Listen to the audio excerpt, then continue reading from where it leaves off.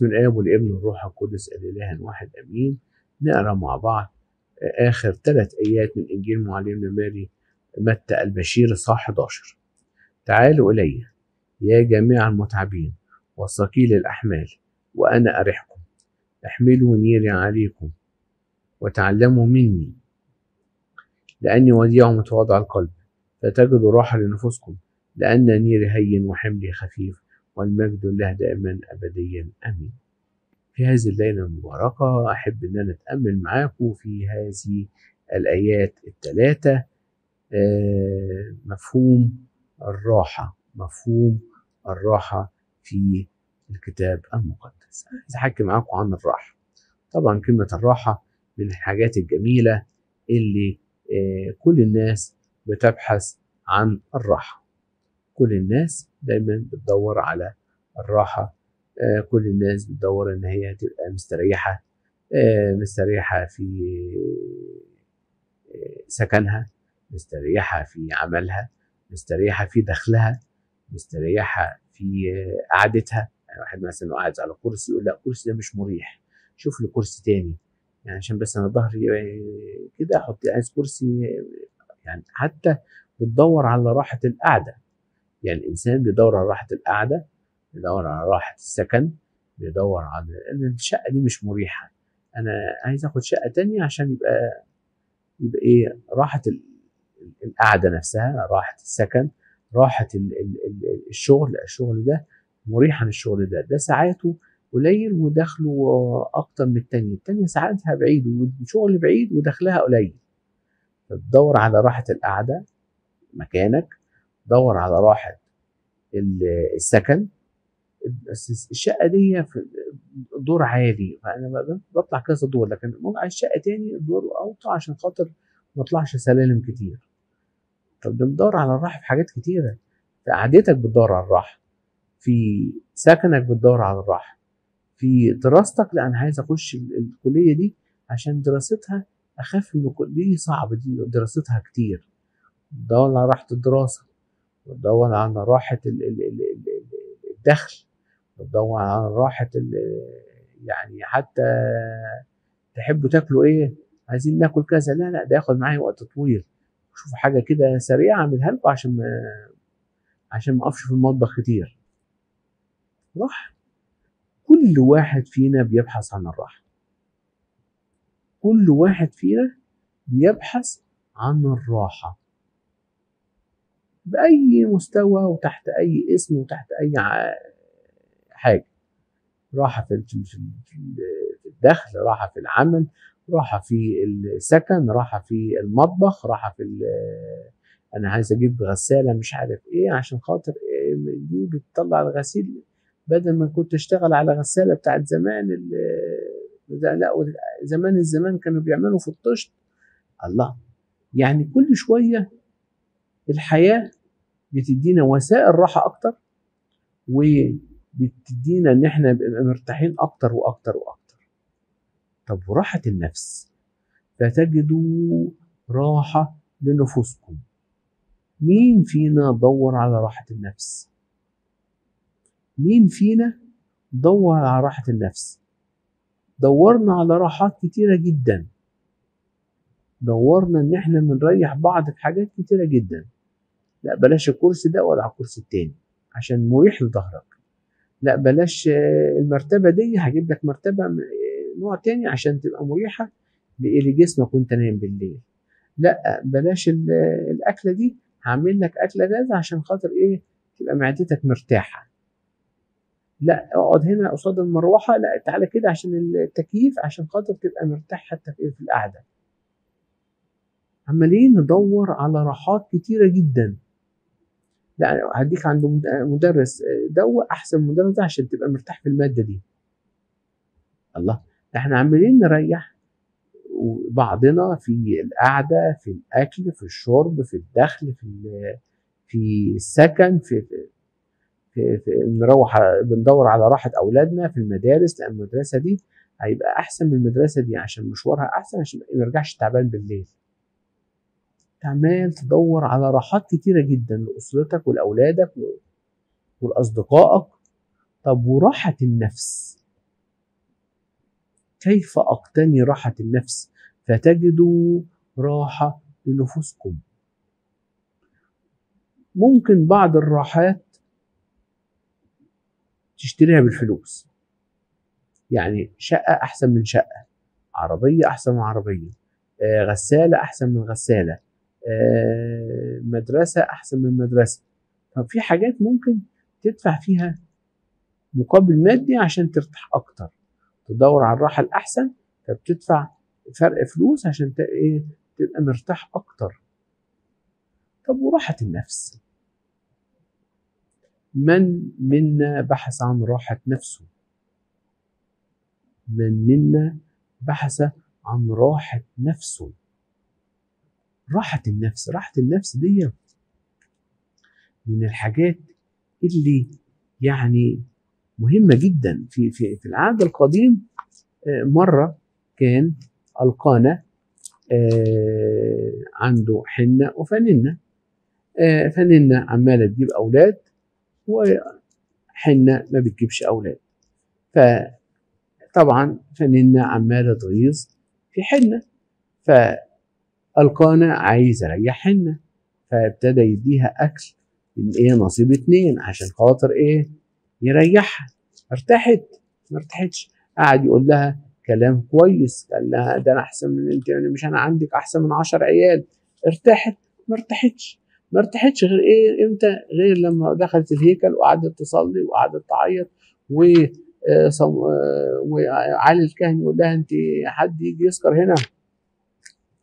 في الهيكل انت يا ست انت جاية تسكري هنا في الهيكل إزاي تسكري في الهيكل؟ قالت له ده أنا امرأة يعني حزينة النفس. قال لها خلاص يلا ربنا يشوف إيه الحزن اللي فيكي ويديكي إيه اللي انت عايزاه. قالت له أنا عايز حتة عيل ربنا هيديك. راح اداها إيه؟ اداها صموئيل. هنا ارتاحت. هنا ارتاحت. ارتاحت. وربنا كمان لما هي ربنا اداها أولاد تاني. فمن منا بحث عن راحة نفسه.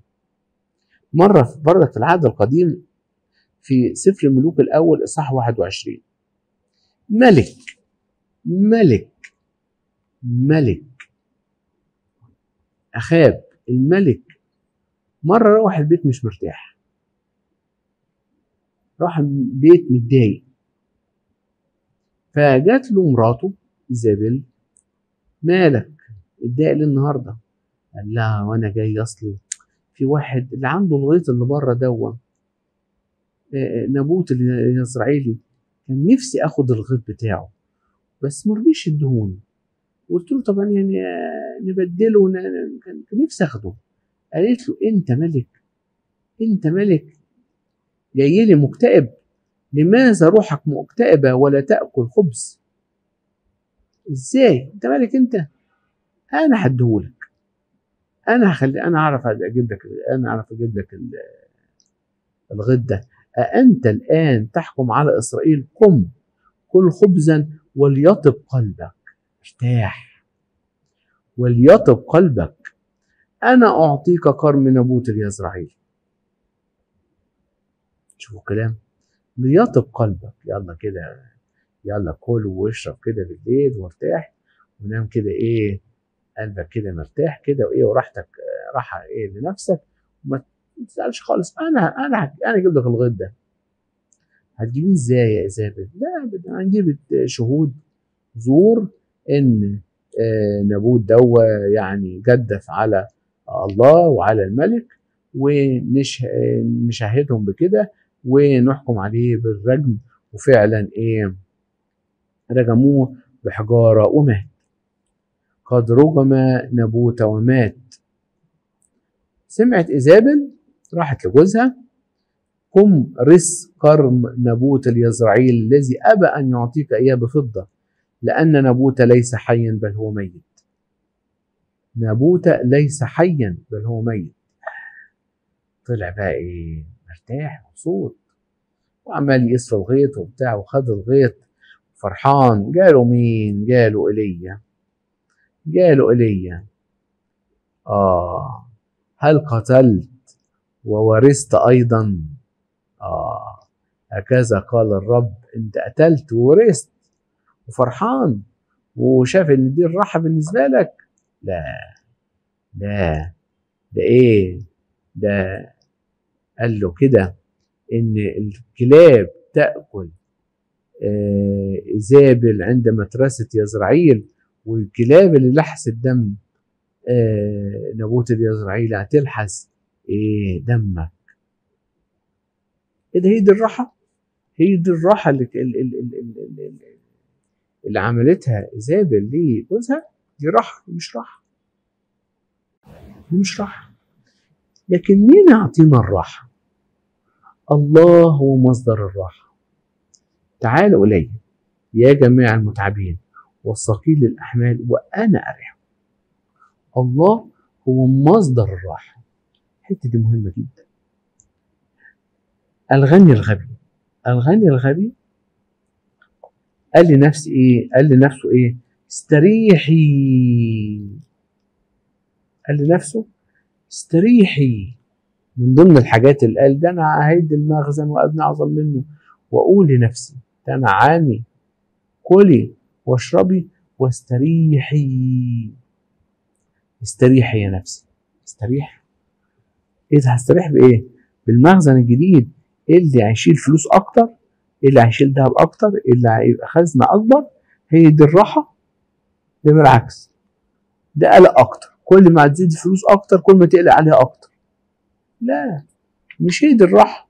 ما أنت فاكر إن الراحة في المخزن الجديد. تهده وتبنيه هي دي الراحة. طب أنا فين؟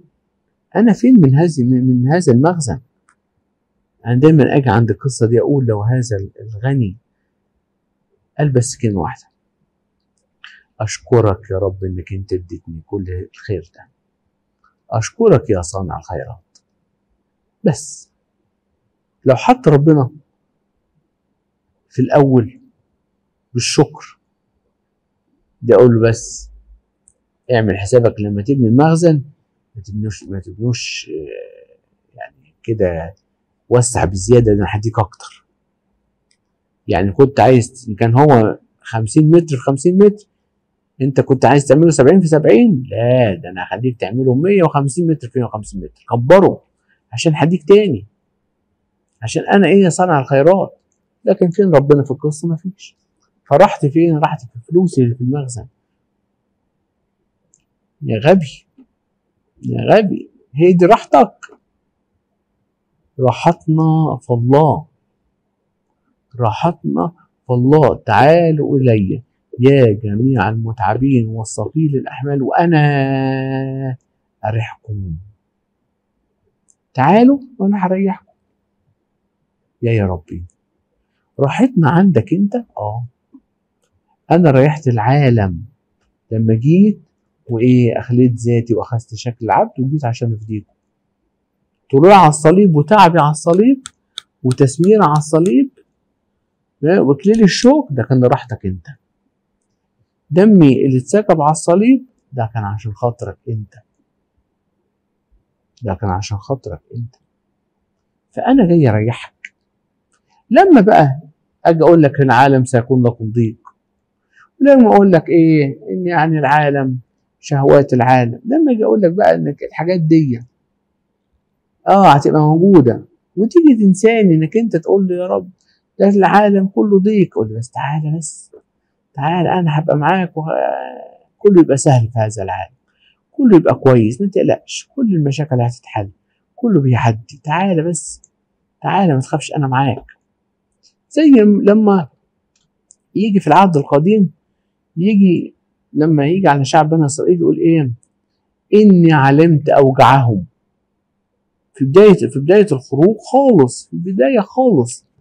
في البداية لما ربنا ابتدى إيه؟ يشوف شعبه إن هو متمرر في أرض مصر. فيقول له يقول إيه؟ لموسى. يا موسى أنا شايف إن الشعب يعني تعب في أرض مصر. طب عرفت إزاي يا رب؟ يقول كده في الإصحاح الأول من سفر الخروج آه يقول له إيه؟ يقول لموسى إيه؟ إني علمت أوجعهم. إني علمت ال- ال- ال- فرعون كان بيعمل إيه؟ بحسبما أذلوهم هكذا نموا وامتدوا.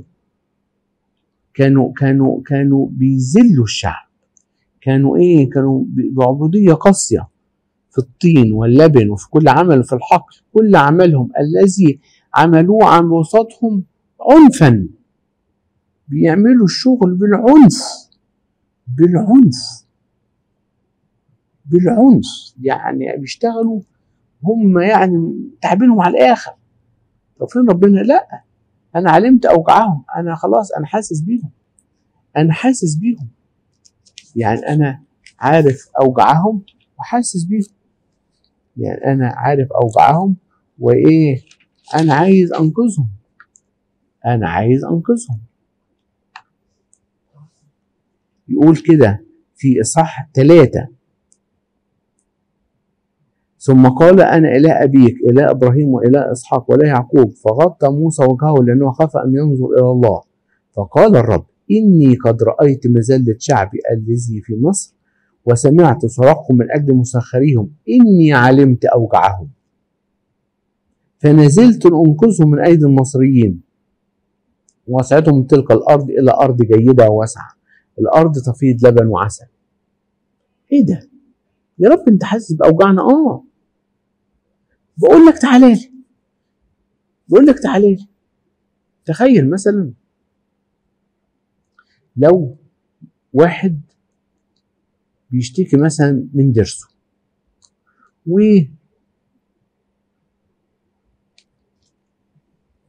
ماشي في الشارع قابل دكتور الأسنان بتاعه.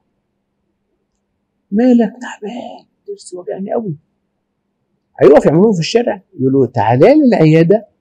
وأنا يعني أنا اديك أنا اديك بنج بتاع أنا تعالى لي بس أنا تعالى لي. ما رحتش. هيبقى الوضع إيه؟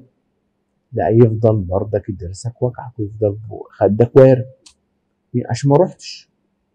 رغم إنك قابلته. يقول لك هو مجرد ما تقابل الدكتور هتخف يقول لك تعالى لي تعالى لي العياده تعالى لي العياده وأنا أشوف لك القصة. واحد بيشتكي من جنبه يقول ده يمكن لحسن تكون إزاي ده لو اتصل بالدكتور جنبه وجعه. هيخف. هاتهولي اكشف آه ده عايز عملية. دخل أوضة العمليات. ما دخلش. هيفضل برضك جنبه وجعه. رغم إن الدكتور عارف وجعه. الدكتور عارف وجعه. وحدد وجعه بس ما دخلش أوضة العمليات. مش هيخف. هيفضل طول عمره إيه متألم. ويموت بألمه. فربنا بيقول لك أنا عارف وجعك. تعالى لي بقى. تعالى لي. يعني أنا عارف وجعك. تعالى لي أنت مش عايز تيجي ليه؟ ما أنت مشكلتك أنت مش عايز تيجي. أنا عارف ألمك. عارف وجعك. إني علمت أوجعهم. تعالوا إلي يا جميع المتعبين والثقيل الأحمال وأنا اريحكم فتجدوا راحة لنفوسكم. ياه ده كان جنبي. قالوا ده زي ده كانت هتنفجر. ولولا نشكر ربنا دخلت المستشفى والدكتور شافها وعملنا أشعة شالها لي ده أنا كنت خلاص ده أنا كنت بموت. الحمد لله خلاص أنا إيه الألم راح. الله. الألم راح؟ آه ارتحت ارتحت. إني علمت أوجعهم. تعالوا إلي يا جميع المتعبين والثقيل الأحمال وأنا اريحكم ربنا معاكم ربنا يبارك في حياتكم. ولإلهنا كل مجد وكرامة في كنيسته إلى الأبد. آمين.